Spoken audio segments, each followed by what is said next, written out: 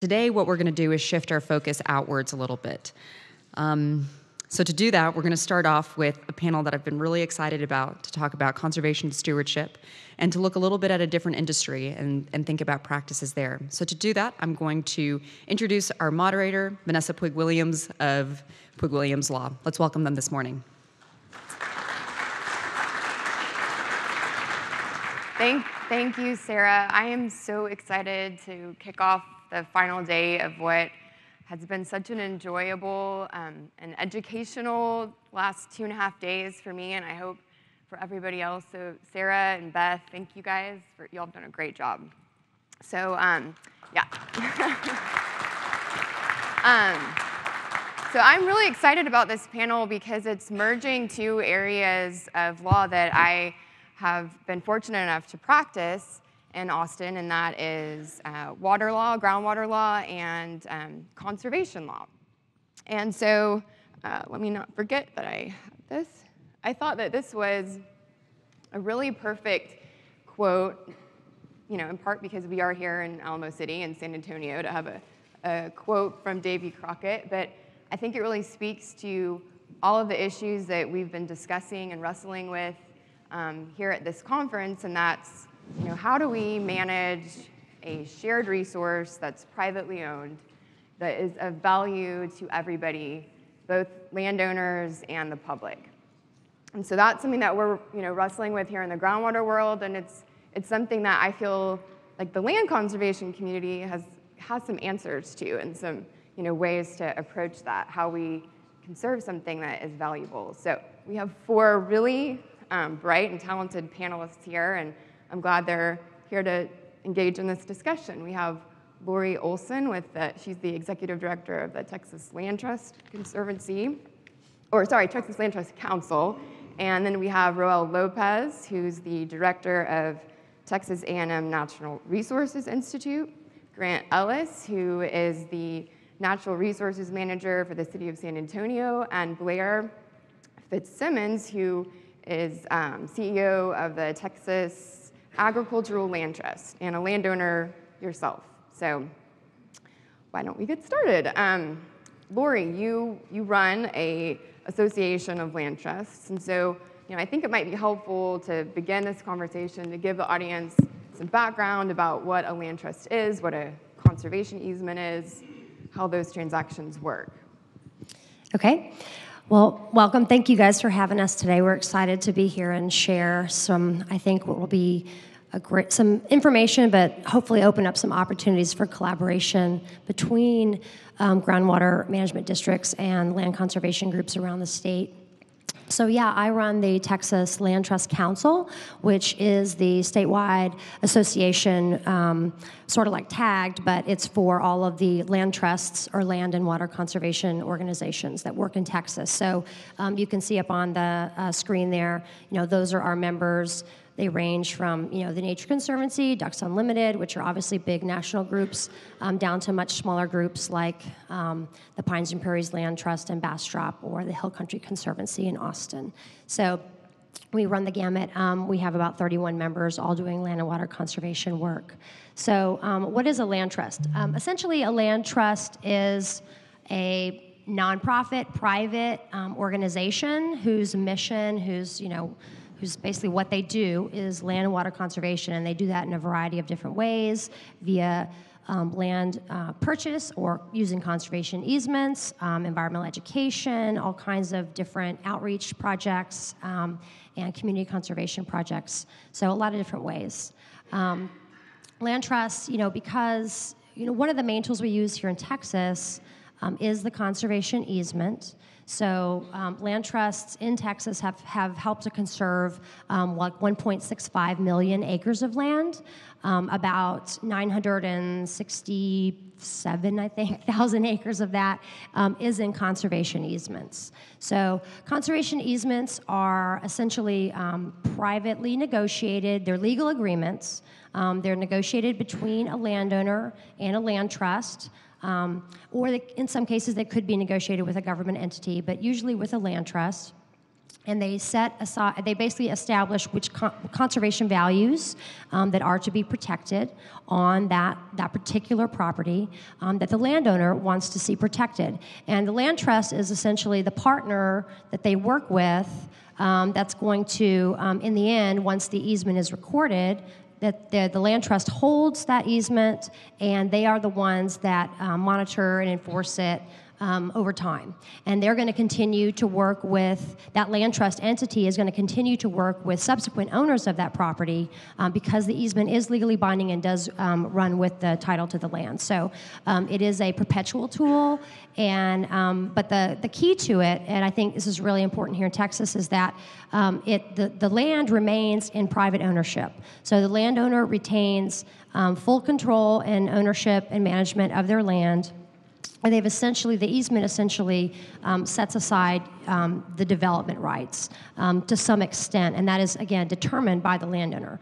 Um, and what the landowner is seeking to protect in terms of conservation values is also sort of determined by the landowner. And the goal is to find a land trust whose conservation mission sort of jives um, with that landowner's goals for their land. Um, and then they, those two entities work together to conserve those resources in perpetuity so it's really a, a, tool for landowner who has that, that stewardship conservation ethic to be able to accomplish that. Exactly. I mean, there are there are some financial incentives for sure to do conservation easements, but I mean, the by and large, the the the issue that is at the forefront of most of these landowners' mind is is the conservation ethic and preserving their land. Um, for future generations um, and for, for Texas and to preserve our, our wildlife habitat and our water resources and all those great things that we have here and agricultural resources so that we can um, be sure to enjoy those um, for decades to come. Well, Blair, maybe you can um, speak to a little bit more about that. Um, your land trust is focused on agricultural land specifically. Can you, and, I, and as a, a landowner yourself, can you maybe describe like what is, um, what are the reasons that a landowner might actually want to move forward with this, and then what is incentivizing them to do so? Sure. First of all, I just want to say it's a pleasure to be here with you this morning and have the opportunity to talk about this topic, that, which may be a bit foreign to many of you here in the room. So we're delighted to be here. Um, a little bit of context for the question, if that's okay. Uh, I run the Texas Agricultural Land Trust, which is uh, one of the largest state based land trusts in Texas. We have about 226,000 acres under conservation easement throughout the state, ranging from 70 acres to 71,000 acres, so uh, quite the gamut. Uh, we were created by three statewide agriculture, hunting, and farming organizations Texas and Southwestern Cattle Raisers, Texas Farm Bureau, Texas Wildlife Association, that felt, who felt, those organizations, the leadership of those organizations felt like landowners needed another tool in the toolbox. Often, when um, those values go up, uh, mom or dad dies, the state tax bill comes, landowners have few options other than just to hang on and try to pay that tax bill or to sell to be able to pay it. And so a conservation easement is a tool that can be used to help in the state planning process. Uh, as, as Lori mentioned, uh, additionally, it can provide in, in financial incentives uh, to meet the family's conservation goals. So um, I wear another hat, and that is as a landowner. As Vanessa mentioned, uh, I saw my brother in law, Rylan Howard, come in. Rylan, raise your hand. Um, Ryland's wife and my husband are sister and brother, and a number of years ago decided to do a conservation easement on, on our family ranch, um, which is, was their grandfather's. And you asked about motivation and why landowners do it, and it, it, it's really a mix of, of reasons. Certainly, we've got some springs on the ranch that they were very interested in protecting um, through a conservation easement. But it was bigger than that. It was, it was, it was really comes from a love of the land. Um, and the fact that we have spent all of our adult lives, and they spent many of their younger lives trying to improve that land and to leave it in better shape than, than they found it. And a conservation easement is simply a way to help protect and memorialize that conservation ethic um, while protecting the springs, while protecting the wildlife habitat, uh, while keeping it in open space and protecting the agricultural productivity. It's a voluntary tool, and I think that's the most important thing to keep in mind is that no one forces a landowner to do a conservation easement. They are willingly giving up these development rights, which in some cases are very valuable um, and a, a strong part of their property right in order to protect that land in perpetuity. And it is a financial incentive, and, and there are a lot of landowners out there that just want to, they're driven by a conservation ethic and frankly, we need more we need more financial incentives like the conservation easement to help these landers, landowners achieve those conservation goals. And so, can you talk just for a minute about? Um, you mentioned that your property has springs on it, and that was one of the reasons that um, motivated you to, you know, seek out a conservation easement. And so, I think that might, you know, pique everyone's interest here. Is how can um, putting a conservation easement on your land, conserving your land, work to protect springs? It, it really goes back to the document and how it's written. So uh, I can speak from the perspective of the Texas Agricultural Land Trust, where our conservation easements require that the land stay with the property.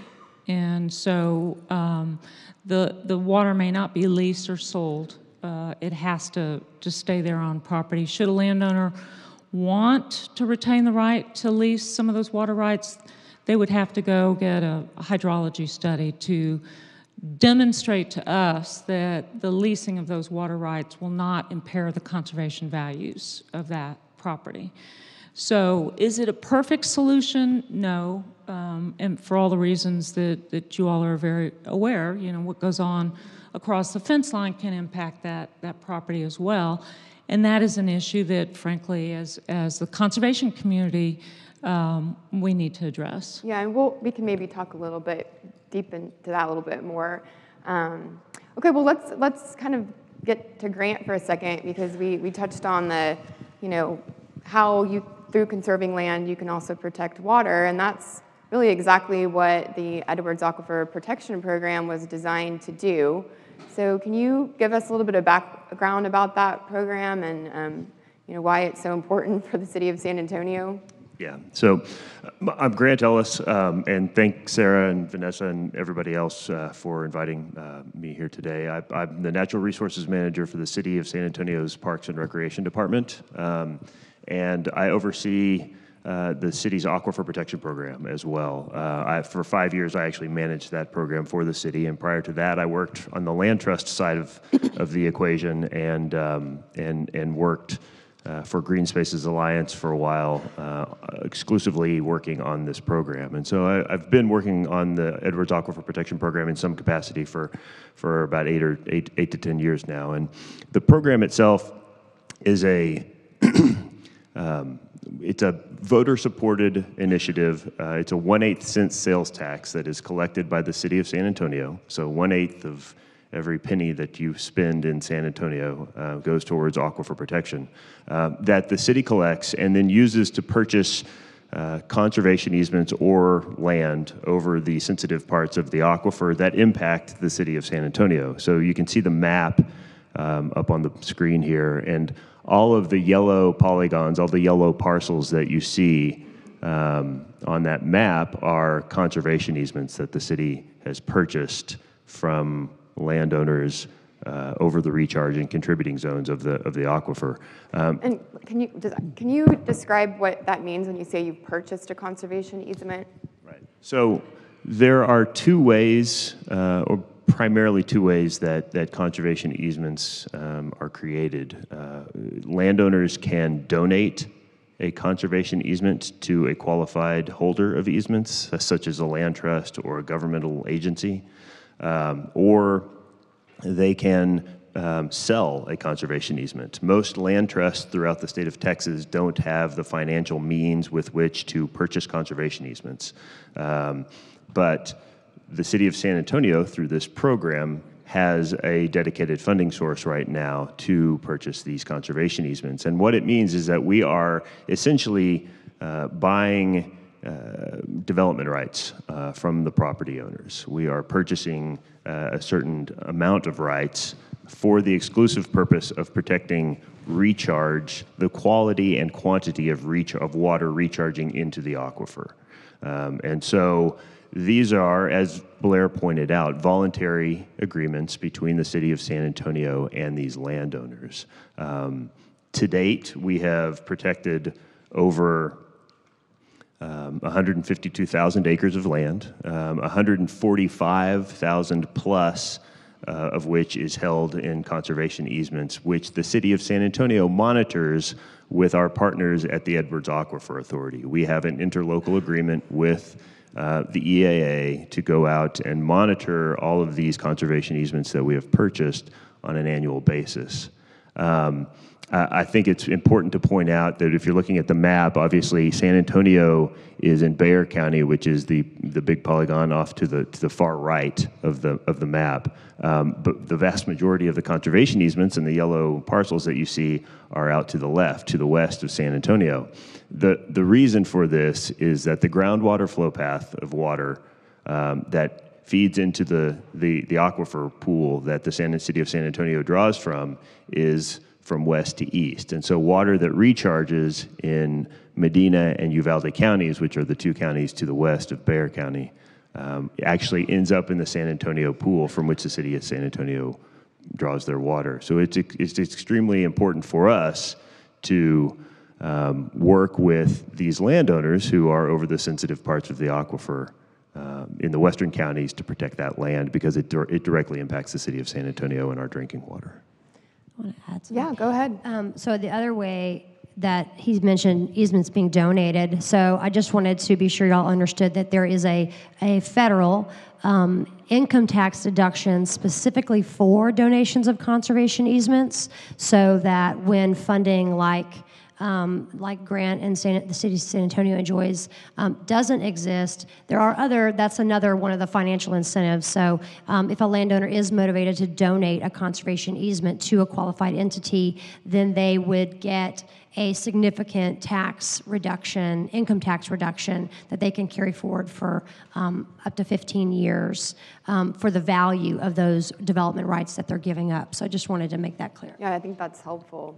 And so with this um, program in San Antonio, it's, it's all, the land is still retained private ownership, and through the sales tax, you all are able to basically pay these landowners who are agreeing to um, not develop their property and not do certain things with their water that would otherwise um, affect its quality and quantity. Is that the big picture? That is that is, okay. that is big picture, and and it, you know, I mean, it, it's important to I think to note also that that you know several decades ago, the citizens of San Antonio and the the policymakers in San Antonio, the, the elected officials, and, and the stakeholders, the water conservation groups, um, realized that um, the Edwards Aquifer was so important to the city of San Antonio. For many, many years, obviously, the Edwards was the, um, the sole uh, source of, of drinking water for the city and citizens of San Antonio.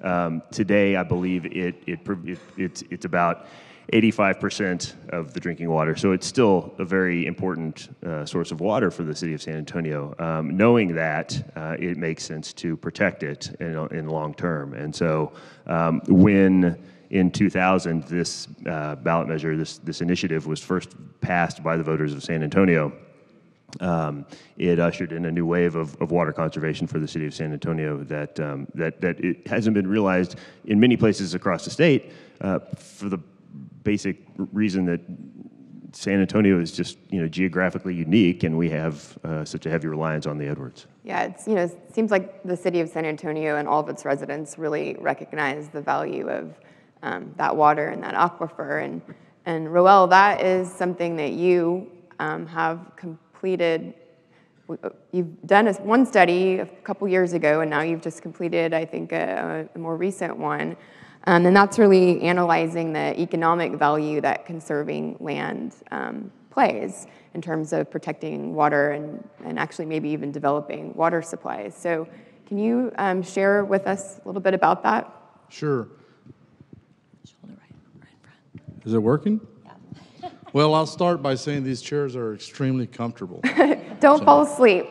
So, but um, again, it's a, like the other panelists, it's a pleasure to be here. Um, so, a little bit of background and and uh, the some of the comments mentioned thus far have set the stage for for what I'll briefly talk about. Uh, land stewardship, we've heard that term and what that means from a, a water per, uh, protection or conservation perspective or groundwater uh, perspective. And, and just to start there a little bit, you know, LBJ uh, uh, talked about water conservation starts where the first raindrop falls. It's a real well known quote. Water conservation starts where the first raindrop falls. And so, land, private land, a farm, a ranch, in essence, is a soul into groundwater supplies. And so, when an acre of land is, is properly managed or stewarded, it serves to act as a sponge, capture that water, and put water into the ground. Water in the ground also serves to maintain those springs and rivers and so forth. They're, the two are connected, and, and again, I'm speaking to, to folks that uh, obviously know that.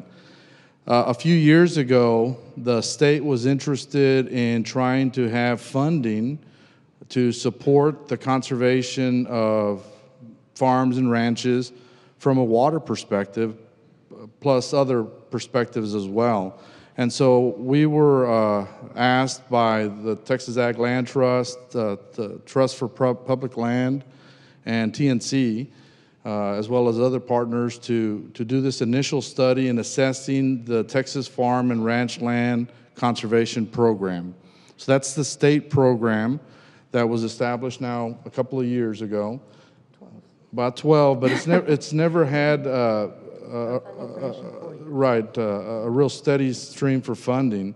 And so the purpose of this study uh, was to try to assess what's the value of conserving those, in this case, seven properties. And so the, the legislators uh, put $2 million into the program uh, a few years ago. And what we found in our assessment for those properties was that uh, those properties contributed about um, $11 million in terms of uh, water replacement costs. In other words, uh, what would be the cost of, of if those is approximately about 10,000 acres, if they were to be paved, what's the water loss? Uh, that water going into that ground uh, due to uh, you know, development or what have you. And, and that was one of the findings from that study is that the, the value of conservation, conservation easements was about $11 million for that $2 million investment. So a six to one investment. And when you look at the cost of infrastructure uh, within the state water plan and so forth, uh, again, it's, it's a, frankly a, a very cost effective measure. And so I think starting to think about land as a, as a tool for, much like what Grant uh, just talked about, as a mechanism for maintaining and, and protecting groundwater and, and ensuring that there's fresh water supplies moving forward. Um, more recently, and this hasn't even come out yet, but uh, we hope to release this here in the next month or so. We, we took that same approach for those initial seven properties in assessing that state program, and we applied it to the nearly 1 million acres under conservation easement by these various land trusts like TALT and the Hill Country uh, Conservancy and so forth. And so it's about 960,000 or so acres. And from that assessment, the, it, it's basically almost a billion uh, or a million acre feet of water that's protected annually and at a cost of almost uh, $1.6 billion. So, so again, there's value to protecting those lands from a, from a water perspective. And so that's uh, some of the, the findings that we've uh, been working on. And the purpose for that is being able to make the case for land conservation, to be, being able to support programs like, like the Texas Farm and Ranch Land Conservation Program, as well as some of the work that the uh, uh, various land trusts do in the state.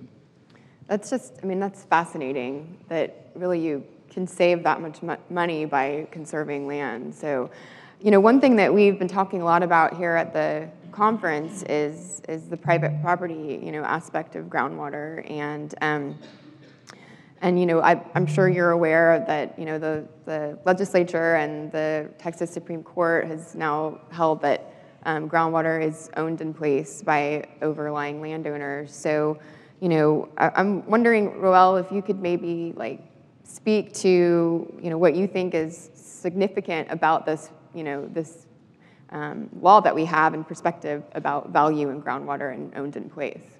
Well, well, again, I'm speaking to the choir here, but I think the value of, of water in the ground is obviously uh, having water available for use in, in, in that substrate. But beyond that, it's also ensuring that there's water on uh, in our rivers and springs and so forth.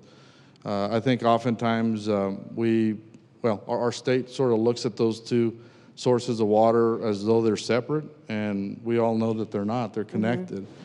And so that's part of the challenge is is uh, uh, looking at the, that connection and the fact that they are in fact uh, interrelated. And so that's one, one key piece to it. So I think to, to expand on that, you know, as a private landowner, you can monetize your water when you sell it. And what this is, is in, in this program, the Texas Farm and Ranch Lands Conservation Program, and other easement programs, are a way to monetize keeping that water in the ground. And that's that we need more programs like that. This was a, a great first start. Mm-hmm. Um, the Texas Water Development Board um, has just come out um, with a position that uh, the state uh, Clean Water Revolving Fund may be used. It's a, it's a complicated um, a, it's a complicated approach, but in short, to fund the purchase of conservation easements. That's another tool in the toolbox, if you will. The Aquifer Protection Initiative that, that Grant runs is yet another tool in the toolbox. So those are programs that we need to help incentivize keeping water in the ground. Yeah, Lori, can you talk about that Water Development Board decision well, I want to say one other, one other thing, thing first. Yeah. So, I mean, I think the City of San Antonio program and their situation is really unique because they've had a lot of science, a lot of hydrologists study the area. They, they understand their aquifer really well and how it works. It flows from west to east. It, you know, acts in a certain way, and they know where they need to conserve that. They figured out where they needed to conserve land in order to preserve that resource. And I think, you know, obviously different aquifers across the state. Um, are all very different, you know, and they, they work differently. And, and so I think we need we need better science to understand those connections and where, you know, in, in all of your different groundwater districts, you know, where are those priority areas where you need to conserve the surface in order to best recharge um, the water. And so, you know, if we have, you know, because in San Antonio, when they had that science, then you take that science and you have the land conservation organizations that come to the table, and then, you know, you can work together and say, okay, here's where um, the science shows that we need to conserve land, so let's put some resources some money to that, and then um, the land conservation organizations can go out and help to um, bring landowners to the table and, and get those lands hopefully under, under easement, or at least a lot of them under easement, to preserve the resource. So I think that's an area where um, groundwater conservation districts and land conservation organizations can seek to collaborate in the future, um, and hopefully we can get some better science around groundwater um, and surface water and, and, and how these things actually work so that we can do more of what's going on in San Antonio and other communities. It, uh, well, I want to talk about that water development board funding because yes. I think it's really interesting. But Grant looks like I, he has I just wanted to, to, to, to, I just wanted to add to that. I mean, I think the science behind it was critical for the success of the city of San Antonio's program, um, and and and for the for, just for the implementation of the program, having the science to back up the the the work that we wanted to do was critical to get the, the voter support uh, behind it. Now that the program has been around for 18 years, um, the, the, the understanding is that um, you know this is this is all very accepted science. We're moving forward, and we're learning more every every year. Um, but the the collaboration that we have with the land trust community and with the um, landowners is, and with the Groundwater Conservation District with EAA, is you know is also very important to point out. Uh, you know, we've got a municipal entity working with local land trusts, working with a groundwater conservation district to protect land and water uh, for a, a, you know a city of two million people. So it's it's a pretty unique program. well, But it, but it doesn't mean it can't be duplicated. let's kind of build on that a little bit, though. I mean, Blair, what are some of the obstacles that you see, you know, when you have a conservation easement and a landowner's given up their rights to develop that property, to develop their groundwater resources?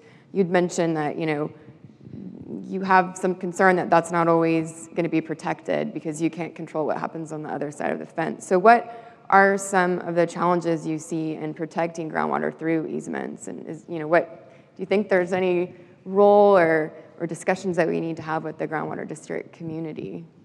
Well, that is the challenge, um, especially for smaller properties when you put an easement on it, and one of the stipulations of that easement is that that water will not be transferred off property, but yet your neighbor um, is is able to to sell or, or utilize um, his or her water in a, in a commercial way that could potentially impact that protected property, that's a challenge. I don't know what the answer is to that, given given our current law, which you know the the organization we are uh, came we come out of the landowner community. We were created by the three organizations that worked very hard to to um, confirm that groundwater is a is a private property right. So we we are committed to that uh, principle. Um, I think there there needs to be a, a collective um, coming together of the minds, if you will, to figure out how we are going to further protect those properties that are protected by by conservation easement. And I don't I don't have the answer to that, other than advocating for and helping to create a mass of conservation easements in a certain region, just like San Antonio is doing. So, I mean, San Antonio really is, is the model for that. The other part of the state where that's happened is the Davis Mountains. Um, but a lot of that, again, it goes back to incentives and motivation and, and the resources available. So, you know, perhaps through some of your organizations, if there's an opportunity to develop funding sources that then could lead to the development of a, of a broader um, uh, area of protected properties, that would be one way to address that.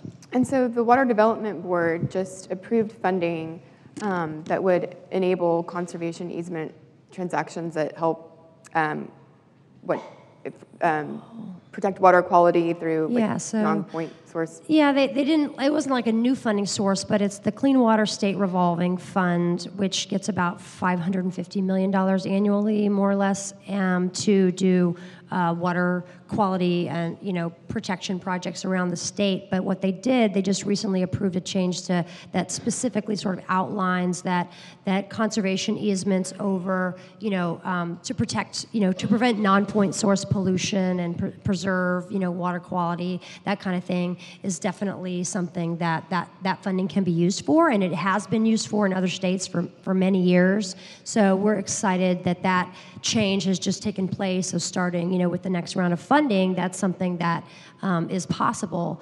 So it's it's just good to see the state recognizing that sort of land water connection. I think you know with uh, you know surface water and groundwater being connected. Um, so it, I think the more we kind of go down these roads where we understand that and we start to manage a lot, manage our resources um, to preserve um, the water, um, we'll be in better shape. So it's a great thing.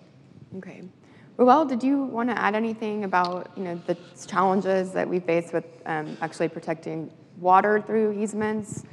Yeah, and, and, and actually kind of uh, build a little bit on what Lori just said. Okay. You know, one of the, the things that we lag behind in the state is there, there are several federal programs that we can capitalize on for conservation easements, whether it's from an agricultural perspective or, or a water perspective or even a military perspective.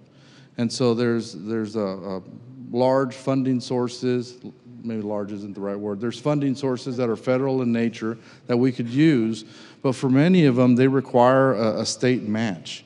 And so one of the, the challenges that Texas has had uh, in, in recent years is, is finding sources of funds uh, at the state level. So that's the value of the Texas Farm and Ranch Land uh, Conservation Program, grants program, and, and this change that Lori just talked about is, is being able to start to get funds that could be used to leverage those dollars.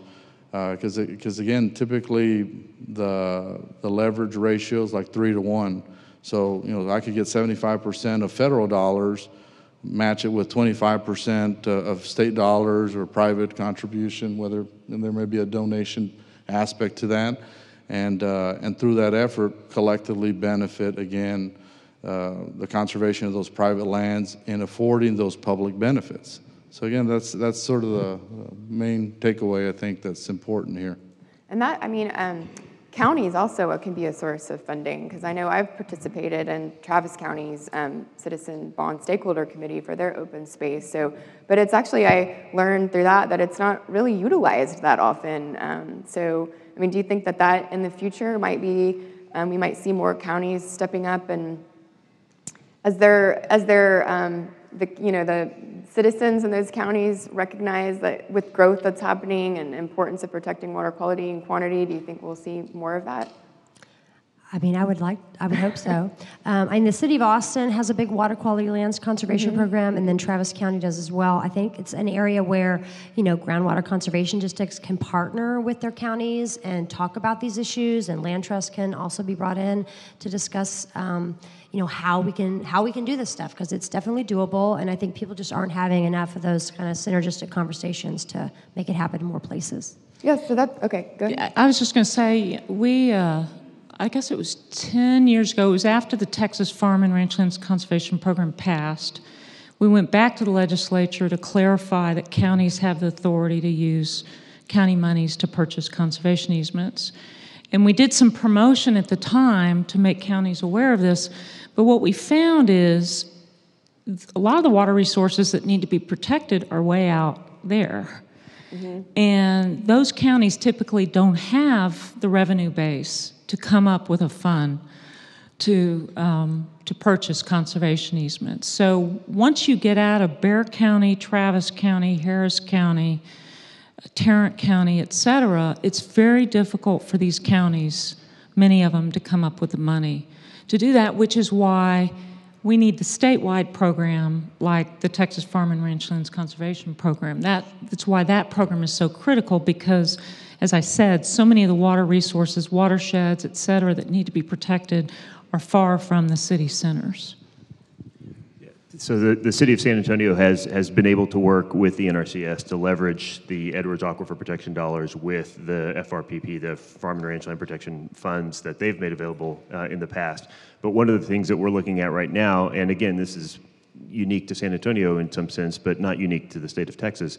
Um, there are other areas I think that may, may, may be able to look at this, but um, we are working right now with Joint Base San Antonio and, and Fort Sam, Houston, to look into the possible use of, of partnering or leveraging funds from the EAPP with um, the Army Compatible Use Buffer Zone program uh, and called ACUB, um, which is a, another potential source of funds because we have Camp Bullis on the northern end of San Antonio in Bexar County, which is, it just happens to lie over the recharge and contributing zones of the Edwards Aquifer. And so this is area that we're looking to protect. And so there are landowners that surround Camp Bullis on certain sides um, who, you know, may be interested in, in selling a conservation easement to the city as well.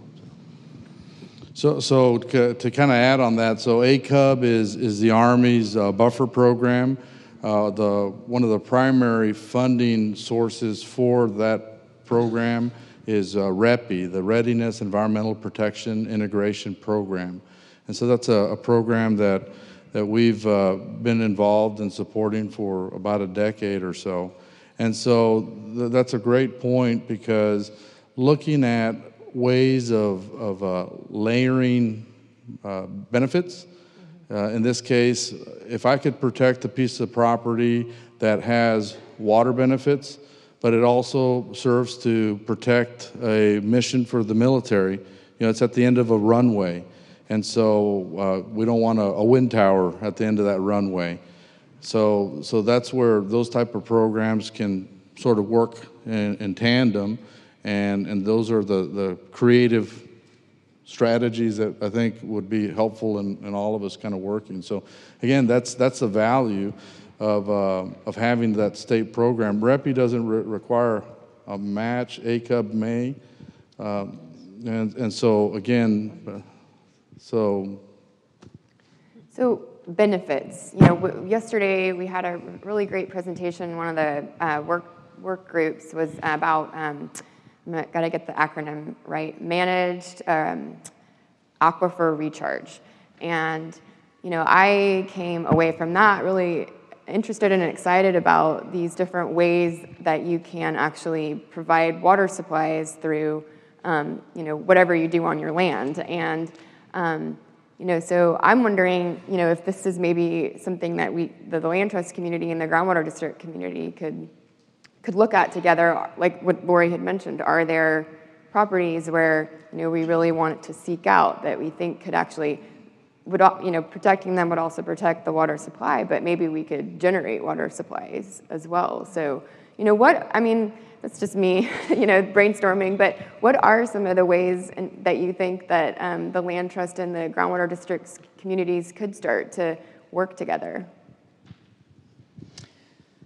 Well, um, you know, I think the f- first step is it goes back to the concept of financial incentives for private land stewardship.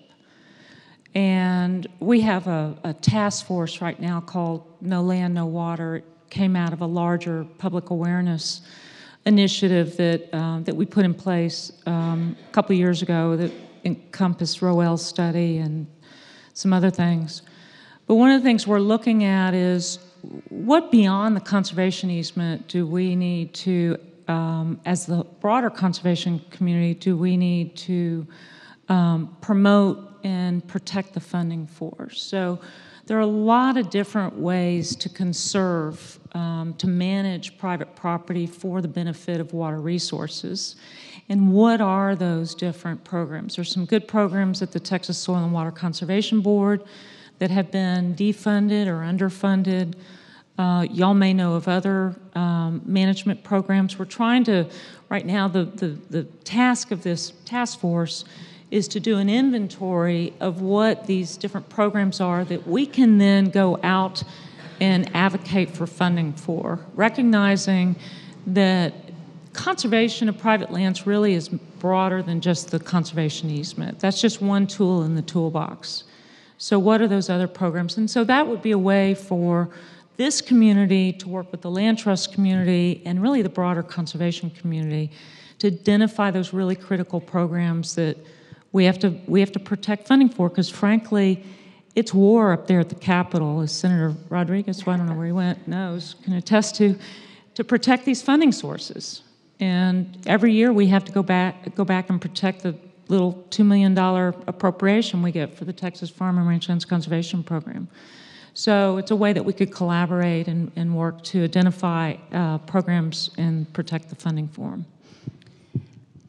Yeah, and another thing that our the Land Trust Council has is um, a database of all the conserved lands um, of all those 1.65 million acres um, that have been protected by all the land trusts in the state. You know, we keep that information, so I think it's it's a good data set that where groundwater conservation districts and the land trust community can collaborate and see what's been conserved, you know, in my area, and where do we want to maybe prioritize adding on to those lands, or you know, that's just kind of a real practical tool that exists. Um, it's a geographic information system, GIS database, and so it has you know real information in terms of what's been conserved on the ground and and what that looks like and how um, you know, it, those systems of protected areas might be enhanced or expanded um, strategically to better conserve water resources. You guys have any thoughts? I think we're kind of getting okay, and then we can maybe take some questions. So, do y'all have any Anything you want to add or last thoughts? Well, I, I, I'd just like to, I mean, I, I think it just starts with a conversation, you know? I mean, I, I think that, you know, the, the why we're reason, doing this. the, the reason, the reason that, that, that the San Antonio's, you know, program uh, exists today is because uh, some concerned citizens and, and, and, and, you know, elected officials and, and a few um, water experts got together at some point in time, sat down and, and discussed uh, what their options were. Uh, and, um, and, and made it happen. And so, you know, if you if you represent a groundwater conservation district and are not familiar with the land trust in your community, then you know there was a I think a list of all the the the represent the the, the land trusts that are represented by um, by Lori's organization right there. Uh, it's worth looking into uh, and and reaching out and, and having that conversation. So. So, Uh, uh, Again, uh, the- I was thinking exactly the same thing, Grant. I I think um, the, that conversation between these two partners, the Land Trust Community and Groundwater Districts, if it isn't already occurring, certainly has tremendous value. Because again, uh, you're kind of after the same thing. So, are, are there any questions?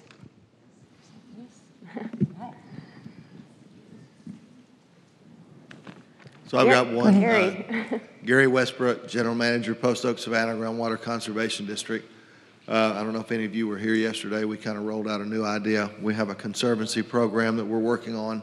Vanessa and I have talked about that several times. First, I want to encourage you guys to all, uh, Vanessa, if you would make sure that, that uh, all that information, those links are sent to Sarah and Beth so they can forward out to our group. I think that would be helpful. Okay. Second, you said we need to think outside the box, Vanessa. This may be a can of worms, but if you establish a conservancy and there's a lot of water that's in place to be conserved, can a groundwater district, should a groundwater district consider that water in place as part of its desired future condition process?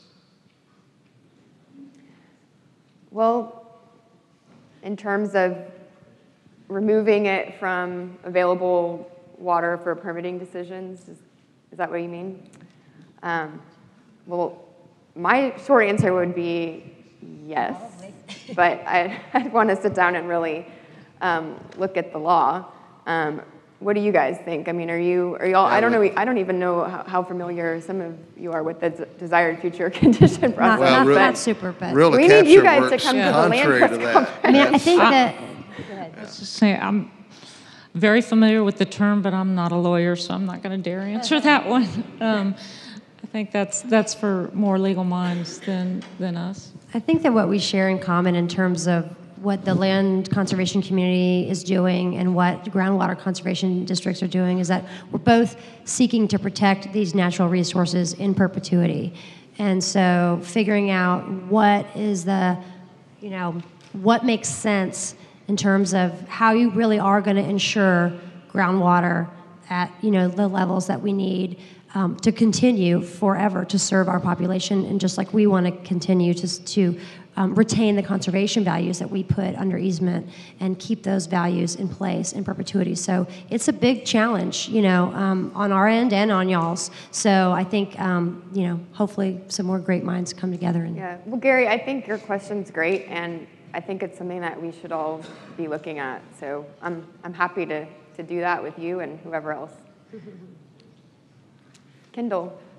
Obviously, a lot of the land that we're talking about is private property. There are conservation easements on private property. So I was wondering if you all can talk about some of the complications with opening some of this land up to the public, and if you all thought there would be, you know, more support for funding, um, if that's through bonds or sales tax.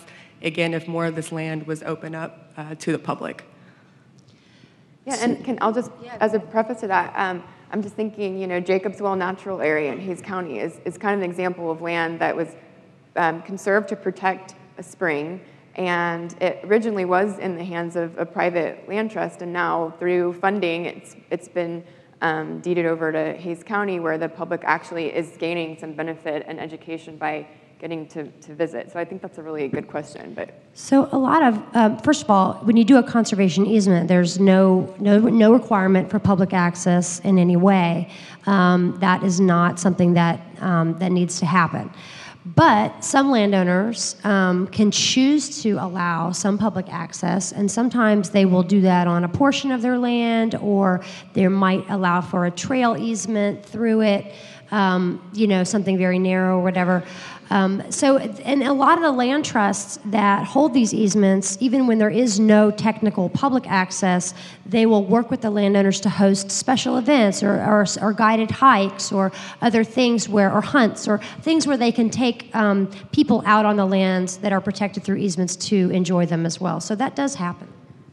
So in, with the City of San Antonio's program, I mean, the, the, we do not require that the conservation easements um, are open to the public, and the vast majority of our, of our landowners would not allow the public onto their property. Um, and, and, and that's how most conservation easements are, like, like, um, like Lori said.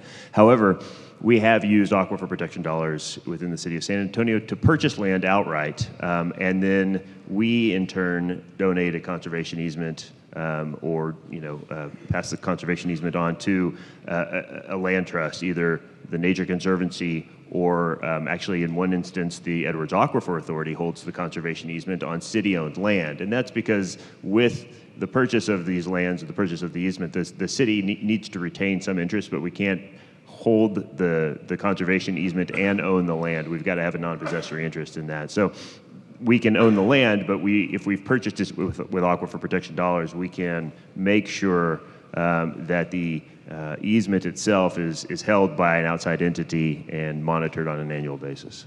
So. And I think that it, even though it's private, it, in the cases where it remains privately held um, and the public may not have access, the whole point is that it's still providing a public benefit. Right. Correct. So, okay. So I'm going to try to combine two Twitter questions because they're kind of in the same field. And Grant, I'm going to. I think that some of this is, is geared towards you. Um, so the first says San Antonio voters overwhelmingly approved using sales taxes to fund recharge zone protections through conservation easements. Do you think this funding mechanism might be used across the state? And the second question is. Um, if San Antonio has looked at purchasing developing rights from quarries, uh, when the quarries are mined out, they can be used for water storage and recharge. So I guess both San Antonio related questions. Well, to answer the first question, um, can it can can the model be applied across the state? I think in, in theory, yes, I, absolutely. I, I, think that each municipal district and, and municipal um, uh, region probably needs to look at what their natural resources are and what they are willing to protect and what the voter support behind that protection is. I mean, to be perfectly honest, I think if the city of San Antonio had voted 18 years ago uh, for a golden cheek warbler habitat protection program, it probably wouldn't have passed. But the citizens of San Antonio recognized the value of their drinking water and the importance of their drinking water and overwhelmingly supported the passage of that ordinance. Um, so that you know, and and it and has and the citizens have um, renewed that program every five years. Um, in, in 2005, again in 2010, and most recently in 2015. So, you know, it, it's a very popular program. I, I, think that model can be applied in other areas throughout the state, um, but um, you would have to look to determine what the major source of water is and, and, and you know, what the best ways are to protect it.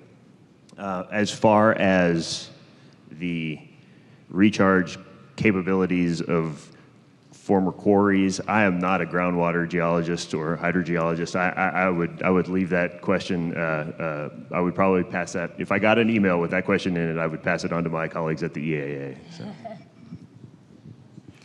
I'm Jency, I'm Jency Madden from the Comal Trinity uh, GCD. Um, and my first question is a simple one. Um, I think that one of our the major take home I'm getting is that we need to be advocating for more appropriations for the uh, farm and for farmland. I need to know. The question farm is, what is the exact program. act? Texas That's a hard farm, acronym. Farm and Ranch Lands Conservation Program. Program, okay. and it's Texas Farm administered by the Ranch uh, Texas Department of Parks and Wildlife. Okay, great. I think the next panel coming up needs to hear from us that this is an important Wow, program great to idea. be uh, putting money into.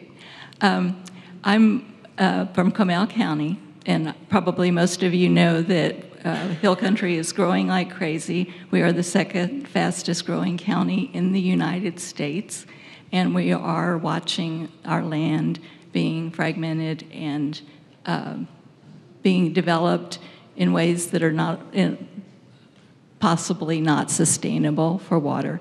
So our county is probably a good candidate for trying to work with, trying to get some grant money to help with um, looking at conservation easements. We do have a group in our county that's trying to figure out how to do that. So, any um, recommendations you can give about, um, you know, a good place to go to look for uh, ways to convince county officials? Yeah, I mean, I think the Hill Country Alliance has been working with your county in particular to try and push towards uh, some kind of uh, countywide bond for open space and water um, resource issues. So, you know, yeah, I mean, I think the groundwater conservation districts and all your supporters should go have a powwow with your county commissioners and and and and. Uh, and talk about this and see if you can get the support to make it happen because I think you have the tax base to do it. So. I think are we we're about I think we're out of time. Can we maybe we can meet um, outside if anybody else has other questions. You, oh, you've been, well, we'll take one last one. Yeah. I just had one Okay. quick question for Mr. Ellis. Uh, did you have any role in saving the Bracken Bat Cave land? And what, So- and you might describe that for us? Sure. So, so the the city of San Antonio um, a few years back um, became involved in the protection of 1,200 acres that was very close to the Bracken Bat Cave. The Bracken Bat Cave is owned by uh, Bat Conservation International, and the land around that that cave. It's if you're not familiar with the Bracken Bat Cave, um, it, it's a, it's a really neat place, but it is home to the largest maternal bat colony in, in North America and In the and- world. What's? In, in the world, excuse me. Um, and, and it's a, a, a really amazing phenomenon to see the bats emerge from the cave. But um, there was 1,200 acres of land that was under the threat of development um, uh, several years back. The city of San Antonio got involved, um, partnered with the Army, the Nature Conservancy, Bat Conservation International, the Edwards Aquifer Authority, and a few other agencies, um, as well as, the, as Bexar County, um, to identify some funding um, for uh, the, the purchase of that property. Uh, that, that property is now owned in tandem by Bat Conservation International and the Nature Conservancy and is monitored by the City of San Antonio's Aquifer Protection Program. Um, and so it was, a, it was a very unique partnership um, spearheaded by now uh, Mayor Ron Nirenberg from the City of San Antonio, who took a keen interest in this particular property when he was City Councilman um, for District 8. But uh, became a very, um, uh, you know, uh, uh, it became a, a, a, poster child uh, project for collaborative uh, partnerships uh, between multiple agencies to protect to protect land, and, and and there was a valid interest for the city of San Antonio because it was also located over the recharge zone. Great. Well, thank you guys for your time and your passion and for all the great questions.